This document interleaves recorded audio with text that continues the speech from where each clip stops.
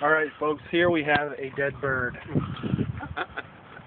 Looks like it's been dead for a while. I'm gonna stick my thumb up its mouth. Please don't.